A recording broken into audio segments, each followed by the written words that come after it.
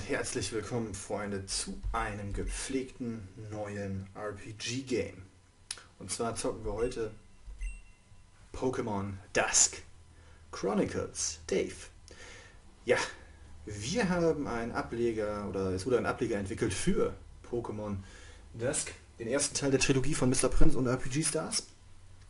Und ich habe mir gedacht, das kannst du natürlich, da, da musst du natürlich sofort zocken und ich bin gespannt, ob er mithalten kann, ob er was komplett Neues hat, wie es gemacht wird. Ist komplett blind bei mir. Ich bin also sehr gespannt. Also tauchen wir ein in die Welt von Pokémon Dusk. Ein weiteres Mal. Los geht's.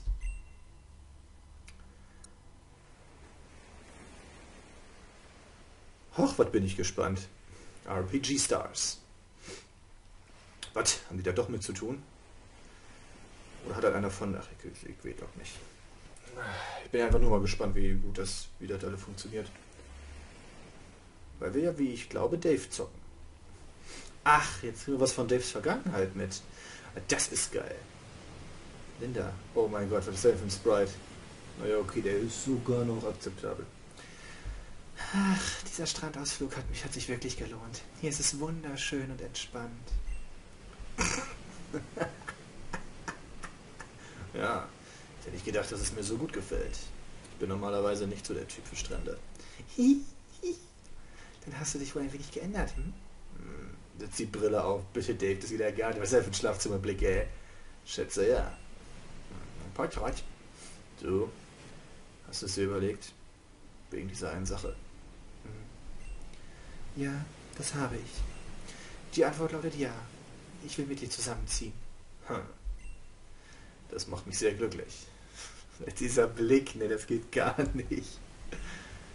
Ich habe da schon ein Haus in Aussicht. Das ist in Lucatia City. Es wird dir sicherlich gefallen. Echt? Das ist doch super. Dann lass uns doch bald mal anschauen. Aber vorher machen wir noch ein Foto, ja? Ja, klar. Gerne. Ach ja, das Foto.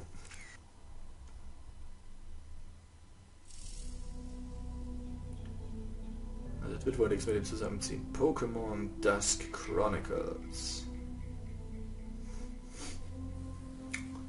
Dave. Gott, das K sieht wieder so schrecklich aus, ey. Ich finde das ja cool gemacht, aber das K sieht so... Ein Spiel von Sellerie. Sellerie, oder was? Sellerie, Sellerie ist alles das gleiche. 19. März 2000. Titike, nee, Joe, kann ich Feierabend machen? Ist gleich 8. Ja, wenn du fertig mit der Reparatur des Einrads bist, kannst du gehen, Dicker. Okay. Hast du eigentlich schon von der Grippewelle gehört? Die gerade um sich greift? Sollen sogar schon welche dran gestorben sein. Man erzählt sogar, dass diejenigen, die durch die Grippe krepiert sind, kurze Zeit später wieder auferstehen. Was für ein Blödsinn. Ja, hab ich gehört. Echt heftig. Also du glaubst diesen Blödsinn doch nicht, oder? Etwa doch. Natürlich nicht, Joe. Wundert mich bei dir. Bist ja nicht der Hellste. Aber immerhin bist du in dem, was du tust, echt gut. Das muss man dir lassen. Ich kenne nur wenige, die so gut im technischen Verstand wie dich. Sonst hätte ich dich auch sicher nicht als Aushilfe eingestellt.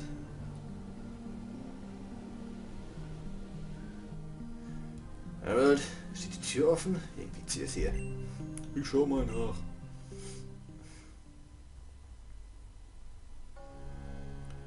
Joe, da kommt ein Kunde. Endlich wird ja auch Zeit, wenigstens ein Kunde am Tag. Kümmere dich mal um ihn. Mach ich. Oh, oh. Joe, fällt gerade erst die Klingel am Fahrrad, das du gerade reparierst, kaputt ist.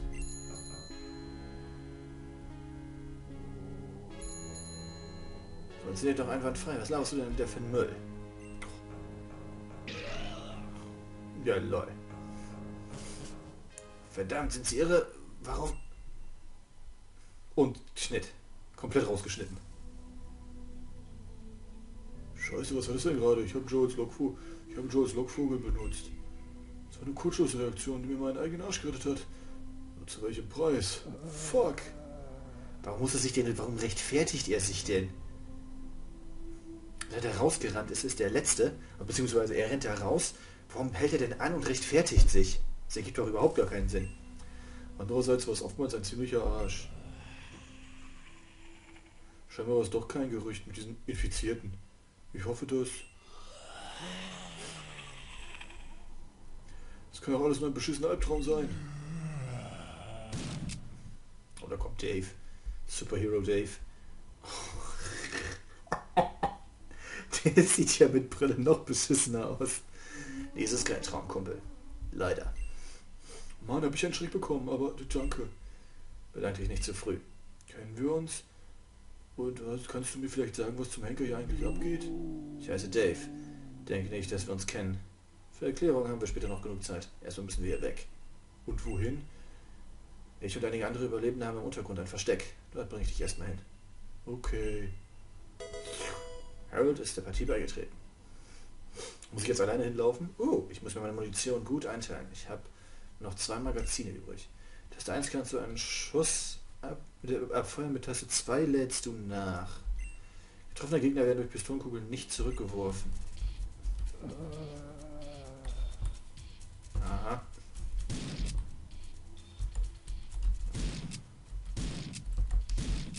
Ich knall die einfach mal alle ab.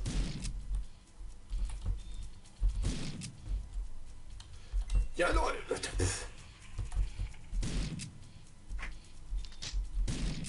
So.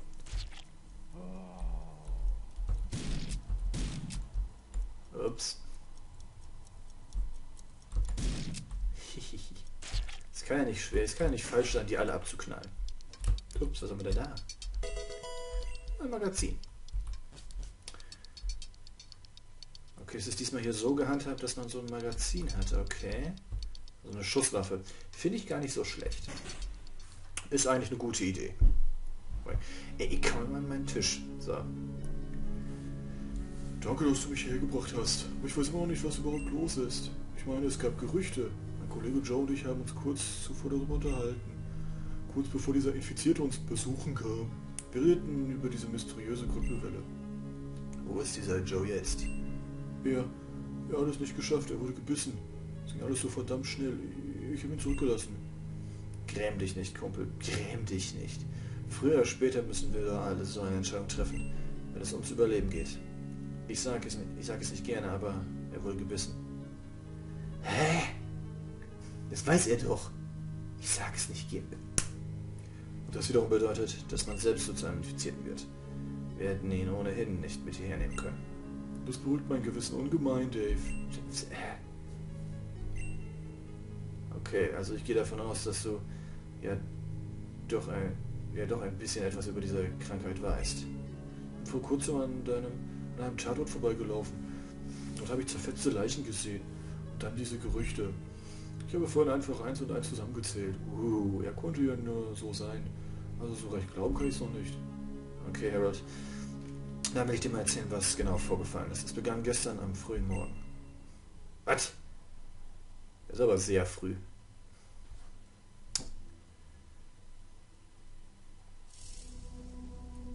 Ich kam aus Oliviana City zurück, da ich meinen Freund Simon aus Orania City zum Hafen begleitet habe.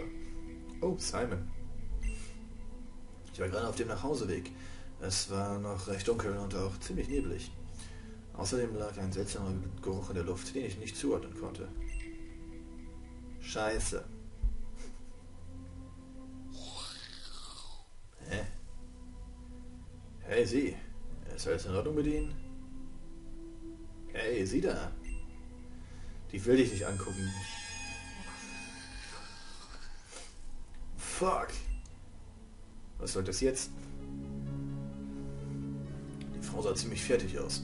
Aber ich hatte natürlich keine Ahnung, bis sie, bis sie versuchte, mir an die Gurgel zu gehen. Nachdem ich die Infizierten abgewimmelt hatte, rannte ich nach Hause. Jetzt mal ganz doof gefragt. Warum trägt er eine Sonnenbrille? Jetzt? Ist vielleicht irgendwas mit seinen Augen? Ist er gekratzt worden oder sowas? Ist jetzt infiziert und man sieht an seinen Augen, dass er infiziert ist? Behalten wir die Gedanken mal im Kopf. Mein Haus war zum Glück nur wenige Meter entfernt. Ich hatte vor Aufregung völlig vergessen, dass meine Freundin zu dieser Zeit auf der Arbeit war. Die Vorstellung, dass sie in Gefahr sein könnte, machte mich nervös. Kurzerhand fasste ich den Entschluss, mich nach draußen zu wagen. Er wollte erklären, was mit der Krankheit los ist. Jetzt erzählt er ihm, ich habe da ein Haus und meine Freundin ist arbeiten und bla bla bla. Ich kramte meine 9, meine 9 mm Pistole aus dem Schubfach und machte mich los. Okay, und hast du eine Freundin gefunden, Dave? Oh, tut mir leid, Mann, ich wollte dir nicht zu nahe treten. Jedenfalls, als ich nach draußen ging, war der Ausnahmezustand ausgebrochen. Die Infizierten fielen hilflose Passanten an. Menschen, wie auch Pokémon, waren infiziert. Wundert mich echt, dass ihr im Fahrradladen nichts mitgekriegt habt. Übrigens, mir fällt gerade auf, wir konnten am Anfang gar nicht auswählen zwischen normal, Hardcore und sowas, ne? Also gibt es keine Hardcore-Version. Naja, unser Fahrradladen liegt recht verwinkelt und wir hatten den ganzen Tag Musik laufen. Aber jetzt, wo du sagst, es kommt kein einziger Kunde. Wir haben die meisten ja Zeit kaputt rumgeschraubt. Entschuldigung. Na gut, Harold. Du weißt jetzt jedenfalls Bescheid. Ich verschaffe mir erst einmal einen Überblick und schaue nach, ob es noch Wege aus der Stadt rausgibt oder noch Überlebende zu finden sind. In Ordnung, sag Bescheid, wenn ich unter die Arme greifen kann. Ich bin technisch recht begabt, ich das mal so sagen darf. Mach ich, Harold. Bis später. Meins. Da mal gucken, was sagst du denn? Ah. Ich will ihn hier nicht anreden, während er mit dem Rücken zu mir zugedreht ist. Von der Seite anlaufen ist auch nicht gerade cool, aber besser...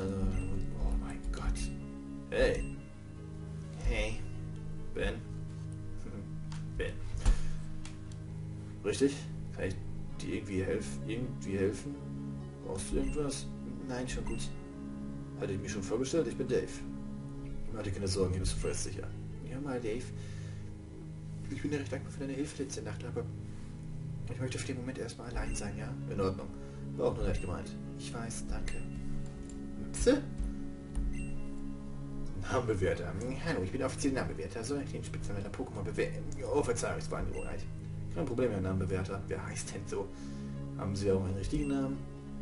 Äh, wo bleiben meine Manieren? Ich kenne Ihren Namen, aber ich selbst habe mich noch gar nicht vorgestellt. Ich bin Stan Carter. Ähm, Namenbewerter Stan. Ich bin auch recht geschockt. Jeder andere wohl auch. Ich hoffe, diese Krankheit kann irgendwie bekämpft werden. Das hoffe ich auch, Stan. Bitte entschuldigen Sie mich einstweilen, Dave. Ich möchte mir ein paar schöne Spitznamen ausdenken, um mich abzulenken. Klar. Und nicht die Hoffnung verlieren. Wir kriegen das schon wieder hin. Das hoffe ich auch, mein Junge. Das hoffe ich auch. Ist ja mein Retter. Vielen Dank nochmal. Kein Problem, Schwester Joy. Das sieht müde aus. Hm. Wie wäre es mit einer Mütze Schlaf? Hm. Weißt du, Schlafmangel ist ziemlich schlecht für die Gesundheit. Besonders für die Haut. Du solltest dich wirklich ein wenig hinlegen. Na schön. Dann gute Nacht, Joy. Auch echt? Gut, pennen wir halt. 20. März 2000. Morgen, Dave. Ich konnte die Nacht nicht schlafen, daher habe ich einen Plan für die Einteilung unserer Ressourcen erstellt. Dank den Sachen, die du gestern mitgebracht hast, können ein paar Wochen überleben, denke ich. Habe ich die mitgebracht? Allerdings, die Leute sind zwar nett, aber ich möchte nicht unbedingt länger als nötig hier verweilen. Dann schau heute mal nach, wie es auf Route 35 aussieht. Wenn sich dort nicht allzu viele Infizierte tummeln, versuche, versuche ich, uns einen Weg zu bahnen. Das Problem wird sein, wenn mir die Munition ausgeht. Ja, das wäre in der Tat ein Problem. Also gut, Harold, wir sehen uns dann später. Wünsche mir Glück. Bis später, Dave, sei vorsichtig. Erstmal safen. So, jetzt gucken wir mal. Status. Äh, Dave. Tasche, Schmerzmittel, Verbandskasten, Magazin. Okay, Option. Tastenbelegung, Grafik, Grafikoption. Was zum... Ach, so weit.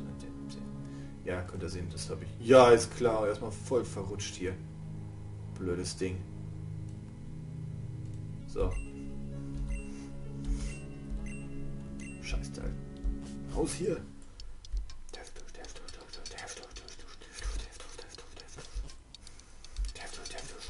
So. Der hat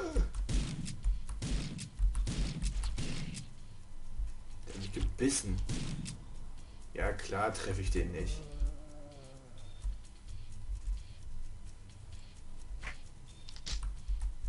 Komm her. Ja, ist klar. Der braucht noch 4. Dein Spielplatz, ja, ja. So, unter 35, ne? Mal gucken. Achso, noch der Nordausgang. Entschuldigung. Oh.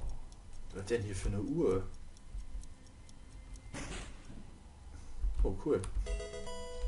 Verbandskasten und ein Magazin. Das gefällt mir. Ich glaube, hier ist ein bisschen mehr. Oh oh. Fuck, hier wimmelt es ja nur von Infizierten. Ich kriege die Leute aus dem Untergrund niemals alle lebend durch. Alleine wäre eh zu gefährlich. Meine Munition reicht nie im Leben für diese ganzen Viecher. Ich gleich wieder abhaken. Hilfe, warum hilft mir niemand? Das klein weniges Mädchen. Verdammt, was mache ich jetzt? Ah, was soll ich überhaupt? Ich muss ihr helfen. Ich sollte versuchen, Spaß mit meiner Munition zu sein und zu versuchen, den Infizierten weitgehend auszuweichen. Puh. Dann mal los, Dave. Was? Oh mein Gott. Jetzt muss ich den Idioten ausweichen. Ist klar. Oh mein Gott. Hey Kleine, komm da runter. Ich will dich in Sicherheit bringen. Wirklich? Bist du keine von diesen Monstern? Ja, bin ich nicht. Schließlich rede ich mit dir, oder? Weil ich habe keine Zeit. Ich, ich traue dir aber nicht. Ich heiße... Wie, wie doof. Ich heiße, ich heiße Dave und du? Wir haben ein Versteck mit anderen Überlebenden. Dort ist es sicher. Ich bin Melanie. Also ich komm runter. Weg hier. So, erstmal müssen wir die ablenken. Oh, jetzt haben wir einige abgelenkt. Jetzt kommen wir auch besser durch. Ja, damit müssen wir leben. Huta, oh, das ging sogar noch einigermaßen gut überlebt. Aber in der Stadt hier räume ich auf. Das, davon kannst du ausgehen. Wenn was rumläuft, dann räume ich das leer. Okay. Okay, Kleine. Hier befindet sich unser Versteck. Danke für die Rettung, mein Held. Eine Frage noch. Wurdest du gebissen? Nein. Als ich diese Monster gesehen habe, bin ich sofort auf den Baum geklettert. Ich saß dort seit gestern Abend. Du sagst auch wirklich die Wahrheit? Ja, wirklich. Wieso sollte ich denn lügen? Also gut, dann lass uns mal reingehen. Hey, das ist die neue... Fühl dich wie zu Hause, Melanie. Die Leute hier sind wirklich in Ordnung. Danke. Dave, richtig? Richtig. Aber ich fürchte, es wird schwer, mich hier drin einzuleben. Auch wenn die Leute nett sind, wie du sagst. Momentan lässt sich an, lässt sich an der Situation leider nichts ändern. Da draußen ist es viel zu gefährlich. Ich weiß, aber ich vermisse meine Familie und mein Knuffenser. Du bist ein Pokémon? Ich nehme an, das hat es nicht geschafft. Ich wollte raus aus der Stadt, aber Route 35 war voll von den Monstern. Ich, ich kann das alles nicht. Oh, na klasse. Das hat mir gerade noch gefehlt. Ich bin verdammt nochmal nicht zu gut, nicht gut in sowas. Hör mal, Melanie. Das wird schon wieder, du musst stark sein. Lass das Rumgeflenne sein. Du musst stark sein. Das wird schon wieder so ein Quatsch. Du musst stark sein. Dein Leben geht weiter, Melanie. Du musst weitermachen. Irgendwie müssen wir uns aus dieser misslichen Lage befreien. Aber das geht nur, wenn alle an einem Strang ziehen. Denke an deine Familie und deinen Knuffenser. Sie würden nicht wollen, dass du so aufgibst. Aber ich habe Menschen verloren, die mir nahe standen. Glaub mir. Und ich bin nicht der Einzige hier. Wir müssen versuchen, das Beste aus dieser Situation zu machen. Noch ist nichts verloren. Oh, danke, Dave, wirklich. Aber ich glaube, ich brauche ein bisschen Zeit für mich. Ich werde versuchen, stark zu bleiben. Für uns. Für die Gruppe. Das freut mich, Kleines. Wir sehen uns später und nicht die Hoffnung verlieren. Ich denke, ich sollte den anderen jetzt die schlechte Nachricht über Route 35 überbringen. Hey Leute, hört mal alle her. Die gute Nachricht ist, wie ihr sehen könnt, dass ich eine weitere Überlebende gefunden habe. Was weniger gut ist, ist, dass wir jetzt weniger Essen haben. Mehr oder weniger gut, fürchte ich. Schließlich müssen wir nun die Vorräte wieder neu koordinieren. Siehst das kriegen wir schon hin. Kommen wir nun lieber zu der schlechten Nachricht. Ich sage jetzt nicht, es gibt, dass es keinen Weg durch Route 35 gibt. Es gibt keinen Weg durch Route 35. Dort lauern immer mehr Infizierte. Immer mehr Pokémon kommen aus den Bäumen und dem hohen Gras, die infiziert sind. Selbst wenn wir durch die Route kommen, wissen wir nicht, was uns danach erwartet. Scheiße, weil ich wusste ich. Ich halte das nicht mehr aus. Es wäre unmöglich, euch alle mit nur einer Waffe und so wenig Munition lebend durch die, durch die Route zu bringen. Warum wird das eigentlich immer wiederholt mit wenig Munition? Ich finde, es geht eigentlich noch. Das kann ich nicht verantworten. Alle wieder weggedreht. Ende. Oh. Okay, Schwein ist auch eine Antwort. Ich soll mal mit den Leuten hier reden.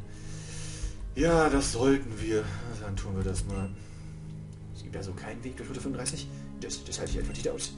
Aber ist doch schon mal auch geschafft. Sie müssen wieso, wieso haben? Wieso gehen Sie nicht vor? Wir liegen infiziert und schleusen uns dann dadurch.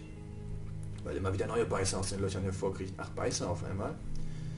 Man kann sie nicht kontrollieren. Abgesehen davon geht mir langsam die Ohr. Oh, bei meiner Strichliste, wie oft dieses, dieser Satz kommt. Dazu kommt, dass wir den ganzen Proviant noch zusätzlich transportieren müssten, was uns noch angreifbarer machen würde. Es ist einfach viel zu gefährlich. Möchten Sie das riskieren, Stan? Was ich weiß, ist, dass ich es hier unten nicht mehr aushalte, dieser enge Raum mit all diesen Menschen, nicht zu wissen, was da draußen vor sich geht, meiner Arbeit nicht nachgehen zu können und hier zu sitzen und zu warten. Ich habe bisher versucht, die Geduld zu üben, aber es geht nicht mehr, Dave. Es ist nicht nur mir, es geht nicht nur mir, so glauben Sie mir. Wenn es weitergeht, wird dann bald ein Lagerkoller ausbrechen. Ich weiß, Sie tun Ihr Bestes, Dave, aber das tue ich, Stan.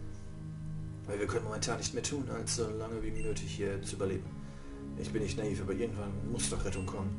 Wir dürfen nicht aufgeben und müssen weiter einen kühlen Kopf bewahren. Dann kommen wir hier alle lebend raus. Ich wünschte, ich könnte nur halb so optimistisch an die Sache rangehen wie Sie. Doch ich fürchte, ich bin nicht in der Lage dazu. Wissen Sie, ich habe meine Arbeit geliebt. Jeden Tag kamen Trainer aus aller Welt, um die Spitznamen ihrer Pokémon von mir bewerten zu lassen. Für andere klingt dieser Beruf mit Sicherheit sehr öde, aber für mich war es nun mal mein Leben. Ich will mir nicht, es will mir nicht gelingen, mich mit dieser Situation abzufinden. Ich kann es nicht. Ich weiß, dass Sie sich bemühen. Doch, Sie sind ein guter Anführer, Dave. Doch ich bin nicht stark genug für all das hier. Sie haben sicher noch einiges zu tun, Dave. Kümmern sich um die jungen Leute hier. Für mich gibt es keine Hoffnung mehr. Es gibt immer Hoffnung, Stan. Bitte geben Sie sich nicht komplett auf. Danke, Dave. Sie sind ein guter Mensch. Boah, was eine Spaßbremse. Naja, ich beende hier mal den Part. Wir sehen uns gleich beim nächsten Part. Dann ciao.